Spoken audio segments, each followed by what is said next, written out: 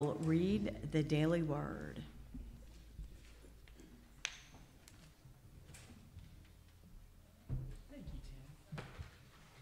Hey, good morning, everybody. So, our daily word, as you can see, is strength for February 11th, 2024.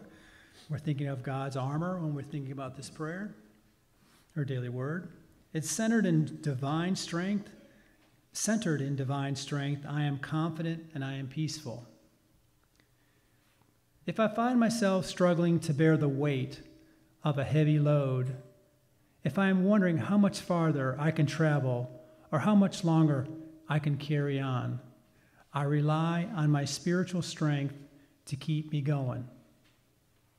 When I align my thoughts with this divine gift, and not on the weight I carry or the distance that I have to travel, I am tapping into the power of God expressing as me.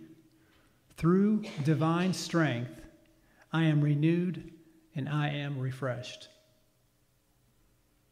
I have everything I need to stay on this course. Knowing the presence of God comes to me through so many channels, I may ask for help and accept it graciously when it comes to me. I give myself breaks and make time for prayer and my other spiritual practices. Through it all, I remain strong and grateful for God within me. And from Ephesians uh, chapter 6, verse 10, it says, Finally, be strong in the Lord and the strength of his power, and turn to him for joy and salvation. There you go. Have a good day. Thank you, Doug.